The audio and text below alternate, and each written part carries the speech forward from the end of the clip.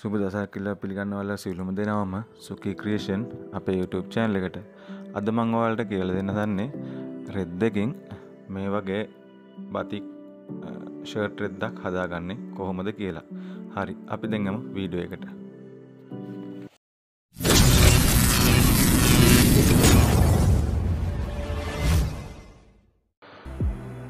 සුබ දසක් කියල පිළිගන්නවා සිවරුම් දෙනාවම සුපී ක්‍රේෂන් අපේ YouTube චෑන්ල එකට. හොඳයි. අපි අදවලට කියා දෙන්න හදන්නේ අර මුලින් පෙන්නුවගේ ලස්සන ෂර්ටයක් කොමද හදාගන්න කියලා. හරි ඒකට මුලින්ම රෙද්ද සම්පූර්ණයෙන් මේ වගේ දෙකට නමා ගණ්ඩ ඕනේ. අපිට මේකට ගණ්ඩ පුළුවන් C30 රෙද්දක් මීට එක හමාර එකයි තුන් කාලක් විතර ගණ්ඩ අපශ්‍යයි ඒත් එක්ක මොලට කියන්න ඕනේ මේකේ කොළ සයිස් එක පහළව හමාර වගේ තමයි හදන්නේ. ඒත් එක්කම කියන්න ඕනේ මේ ෂර්ට් රෙද්දේ අපි දැන් නමන් තියෙන එකේ උඩ තියෙන බලවාටිය කොටස තමයි ෂර්ට් එක ඉදිරිපස්සට එන්නේ. අනිත් කොටස් වලින් තමයි ෂර්ට් එකේ අත් කොළ සාක්කු දානවා නම් මේකට ගන්න පුළුවන්. ඒත් එක්කම ඔයාලට කියන්න අවශ්‍යයි මේක ඩිසයින් එක දාන කොටසට අඟල් විසි පහත්තියක් අද ප්‍රමාණයක්. ඒත් එක්කම පලල අඟල් පහලවක් වගේ කොටසක් ගන්න මේ ඩිසයින් එක දාගන්න ඒ ප්‍රමාණය හොඳටම ප්‍රමාණවත් වෙනවා මේ වැඩේට. ඔයාලට මෙතනදී කැමති ඩිසයින් එකක් දාගන්න පුළුවන්. පොඩි එක්කෙනෙකුට වගේ ගැලපෙනවා නම් පොඩි මල් වගේ ඩිසයින් එකක්. ඇත්තට මම මේක හැදුවේ ලොකු එක්කෙනෙකුට.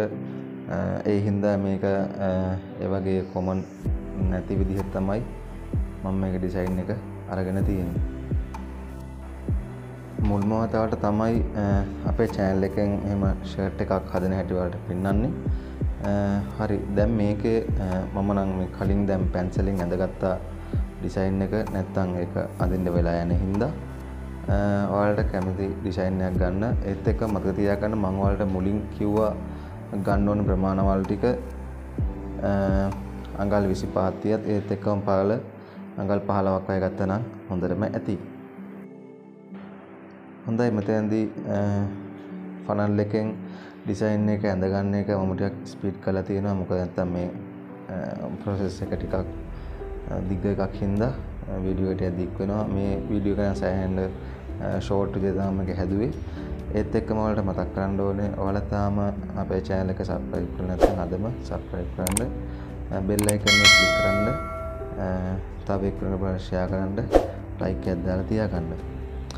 එහෙම bell icon එක click කරලා තියාගත්තොත් තමයි අපි දාන වීඩියෝ එකක් ඔයාලට ඉතා ඉක්මනින් ඔයාලා ගාව ගන්න ඔයාලා ගාවට ගෙන්න ගන්න පුළුවන්. මෙතනදී ඔයාලට කියන්න ඕන විශේෂ දෙයක් තියෙනවා. මගේ කමෙන්ට් සෙක්ෂන් එකේ කිහිප දෙනෙක් අහලා තිබ්බ ප්‍රශ්න තමයි මේ ඉටි සම්බන්ධ ගැටලු. සමහර කට්ටිය අහලා තිබ්බා මේ ඉටි කොහොමද ඉටි මිශ්‍රණය හදාගන්නේ කියලා දින තුනක් අහලා තිබ්බා. නමුත් මම එයාලට මගේ කලින් වීඩියෝ එක ෂෙයා කරලා දුන්නා. මොකද මම කලින් වීඩියෝස් වලදී මම කිව්වා කොහොමද හරියටම ඉටි මිශ්‍රණය හදාගන්නේ කියලා. ඒත් එක්කම ඔයාලට කියන්න ඕනේ එක්කෙනෙක් අහලා තිබ්බා මේ ඉටි නිකන් පැරපින් ඉටි විතරක් ඒ කියන්නේ බීවැක්ස් රොසෙන් දාන්න නැතුව දැම්මට කමක් නැද්ද කියලා. නමුත් එහෙම ගැටලුවක් නැහැ. ගැටලුවකට තියෙන්නේ රොසෙන් බීවැක්ස් දානකොට මේක ගම්මයක් වගේ තමයි අල්ලන්නේ හොඳ රෙද්දට.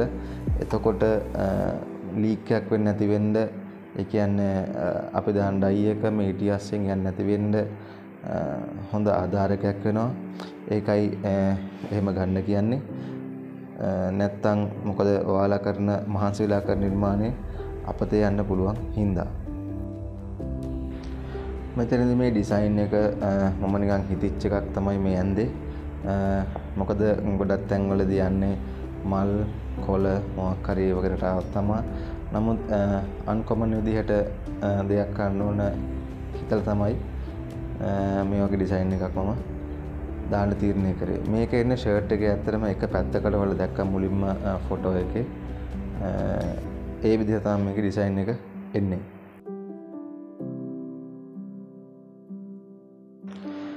ඒත් එක්කම ඔයාලට තව දෙයක් මතක් කරන්නම්. කමෙන්ට් සෙක්ෂන් එකේ දාලා තිබ්බ තවත් ප්‍රශ්නයක් ඔයාලටත් වැදගත් වෙයි කියලා.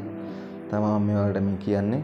ඇත්තටම දෙන්නෙක් විදිහට මම අහලා තිබ්බා ක්ලිප් වෙනු මේ පින්ස් වෙනුවට මොනවද මොකුත් නැද්ද ආධාරකයක් කියලා. මේ ඔයාලට පේන ක්ලිප් එක ගාගන්න මේක හොඳයි. මොකද රෙද්ද ඉරෙන්නේ මේ සාමාන්‍ය ෂර්ට් රෙද් එකට වගේ නම් පින්සය ප්‍රශ්නයක් නැහැ. නමුත් සාරි රෙද් එකට වගේ ෆුල් වැක්ස් කරොත් එහෙම සාරියේ තියෙන බරත් එක්ක ඉටිවල තියෙන බරත් එක්ක රෙද්ද ඉරලා යන්න පුළුවන්. ඒකින්ද මේ වගේ ක්ලිප් එකක් ගන්න. ඒක ගොඩක් සාර්ථකයි. ඒත් එක්කම අද මම මේ ෆුල් වැක්ස් ටූල් එක නෙමෙයි ගන්නෙ පින්සල තමයි පාවිච්චි කරන්නේ. මොකද ගොඩක් කට්ටියට ෆුල් වැක්ස් ටූල් නැති හින්දා පින්සලෙන් තමා අද මං ගාලා පෙන්වන්නේ. හොඳයි. මේ තියෙන්නේ ග්ලෝබසෝල් ඩයි මිශ්‍රණය. ඒත් එක්කම ඔයාලට මතක් කරන්න ඕනේ මේ වගේ බතික් වැඩ කරනකොට විශේෂයෙන්ම ඒකට විතරක් වෙන් වෙච්ච බඩු ටිකක් වෙනම තියාගන්න සාමාන්‍ය ගෙදරදොරේ පාවිච්චි කරන බඩු ගන්න එපා මොකද මේ කෙමිකල් තියෙන ඔක්කොම ආහාර වලට එහෙම හදිසියෙ මිශ්‍ර වුණොත් ප්‍රශ්න වෙන්න පුළුවන්. ඒත් එක්කම මේක කලවම් කරන්න ඕනේ සාමාන්‍ය මද රස්න උණු වතුරෙන් ගොඩක් කට්ටිය මේක අහලා තිබ්බ ප්‍රශ්නයක් තමයි සමහර කට්ටිය නිකන් ඇල් වතුරෙන් කලවම් කරලා තිබුණා. නමුත් එහෙම කන්න එපා සාමාන්‍ය මද රස්න උණු වතුරෙන් කලවම් කරගන්න. කලවම් කරලා අපේ ඩයි බාත් එකට දාගන්න මේක. හරි මේ තියෙන්නේ ඩයි බාත් එකට දාලා දැන් මේ වතුරත් එක්ක කලවම් කරන දේ තමයි වෙන්නේ. රයිට් මේ තියෙන්නේ ඉටි කරගත්ත රෙද්ද අපි දැන් මේ බාත් එකට දාලා අත ගාන ගමන් ඉන්නේ. ඔයාලට දැන් මතක් කරන්නම් මොකද මේ ෂර්ට් රෙද්දේ පුළුවන් තරම් ක්‍රැක්ස් හොඳට කඩා ගන්න ඒ ක්‍රැක්ස් ටික කඩා ගන්න තරමට ඩිසයින් එක ලස්සනට පෙනෙයි. මොකද සුදු පාට පසුබිමට තද පාට කටනාම ගොඩක් ලස්සන වෙන හින්දා. රයිට් අපි නම් මේ බාත් එකට උඩින් ඉටි කොලයක් දාගෙන තමයි වැඩේ කරන්නේ.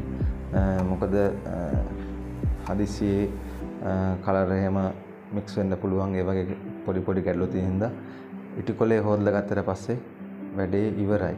ඒත් එක්කම ඔයාලට මතක් කරන්න ඕනේ මේ වගේ දෙයක් කරනකොට ඉටි කොලයක් දාලා ගන්න එක ගොඩක් වැදගත් වෙනවා.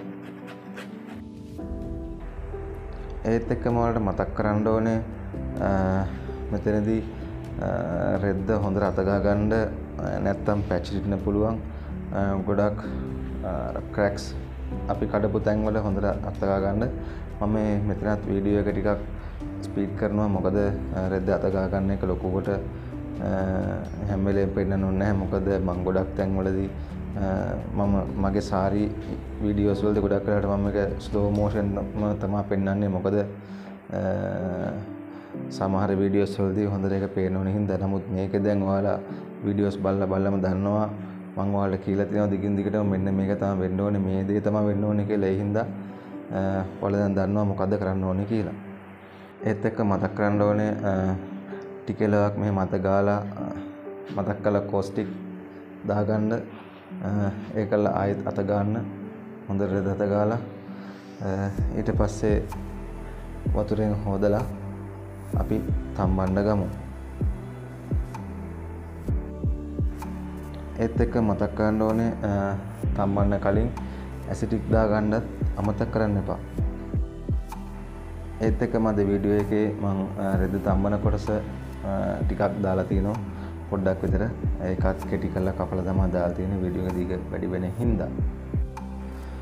රයිට් ඒත් එක්ක ඔයාලට තියෙන ගැටලු අදහස් යෝජනා චෝදනා සියලු දේවා අපේ කමෙන්ට් සෙක්ෂන් එකේ දාන්න. ඇත්තටම මට සමහර දවස්වලට ඔයාලා කමෙන්ට් එකක් දාපු ගමන් මට රිප්ලයි කරන්න බැරි වෙයි තියෙන වැඩත් එක්ක. ඒ හින්දා පුළුවන් උපරිම හැකි ඉක්මනට ඔයාලගේ කමෙන්ට් වලට උත්තර දෙන්න මම බලාපොරොත්තු වෙනවා. රයිට් දැන් මෙතනදී වෙන්නේ භාජනය රත් වෙන එක. මේ තියෙන රත් වීගෙන එන ටික. ඒත් එක්කම රත්වී හොඳර වතු රත්වනට පස්සේ සබංකුඩු ප්‍රතිශෝධන කුටියක් දාන්න මේ තියන්නේ එහෙම රදිකෝදන කුටියක් දා දැමට පස්සේ මේ වගේ මේ ගාන රත්වනට පස්සේ තමයි රෙද්ද දාණ්ඩෝ නැත්තං ඉටි හරියට යන්න නැති වෙයි හොඳ මේ තියන්න රෙද් තම්බර හැටි බලාගණ්ඩ හොඳ ඊට ගිහින් තිබ්බ නැත්තං තාපාරක් මතක් කළ තම්බ ගණ්ඩ පළවෙනි පාර සබංකුඩු දාන්න සුදම් බණ්ඩ දෙවෙනි පාර සබංකුඩු දාලා තම්බන්න එතකොට අනිවාර්යෙන් ඉටි ඔක්කොම ගිහිලා තියෙයි ඒත් එක්ක මේ ටික වෙන් කරගන්න අපිට ඊගාව පාර ප්‍රයෝජනයට ගන්න. මේ වගේ ලස්සන වැදගත් අර්ථවත් වීඩියෝ එකකින් ඔයාලව හම්බෙන ස්තුරු. ඔයාලා හැමෝටම සුබ දවසක්.